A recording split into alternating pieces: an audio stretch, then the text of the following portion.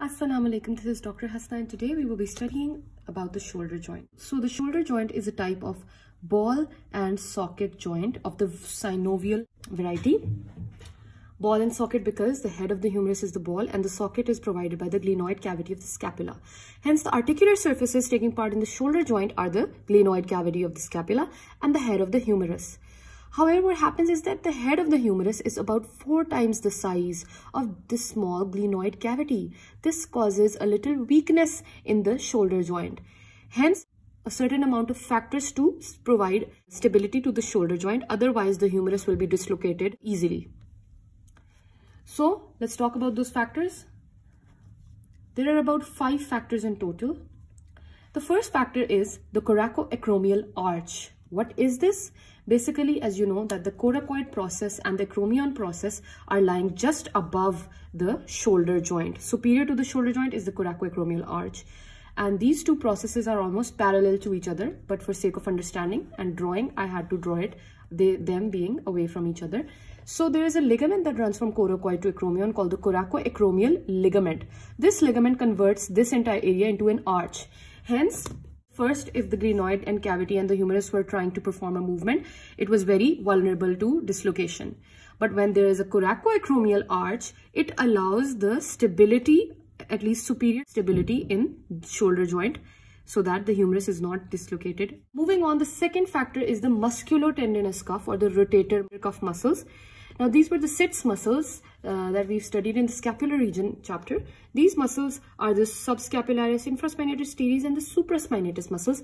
These muscles had tendons that were blending in the capsule of shoulder joint and causing strengthening of the capsule of the shoulder joint.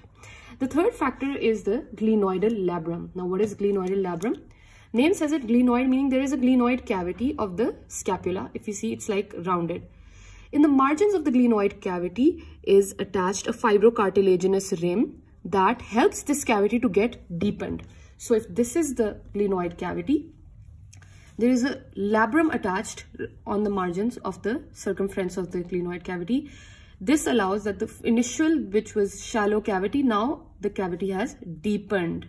So glenoidal labrum is the third strengthening factor of the shoulder joint. Other factors include the atmospheric pressure and finally couple of muscles also strengthen the shoulder joints. These are the biceps and triceps muscles. Moving on, let's talk about the various ligaments of the shoulder joints. So, enumerating the ligaments of shoulder joint, there are about four ligaments. The first is the capsular ligament. Now, basically, capsular ligament is also can be called the capsule of the joint. The capsular ligament is basically attached. Medially, it is obviously attached to round the glenoid cavity, extending beyond the supraglenoid tubercle. Laterally, it is attached to the anatomical neck of the humerus. So we know that the anatomical neck is basically separating the upper end from the head of the humerus.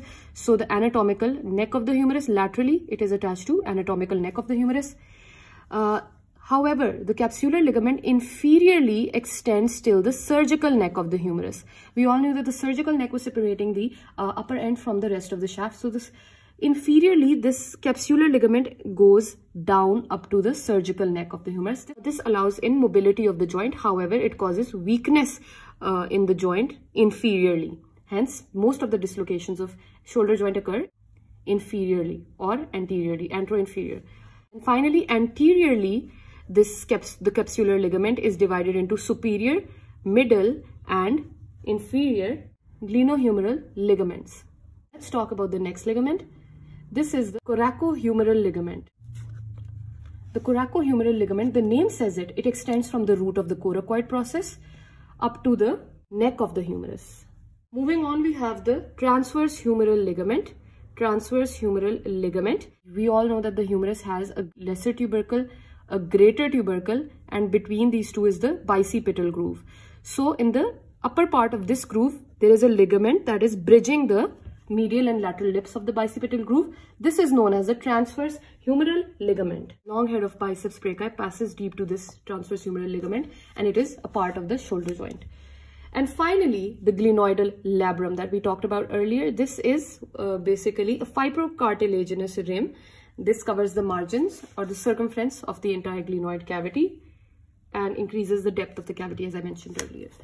So this was a summary of the ligaments of the shoulder joint. In the next video, we'll talk about the nerve and blood supply of the shoulder joint along with the scapulohumeral rhythm.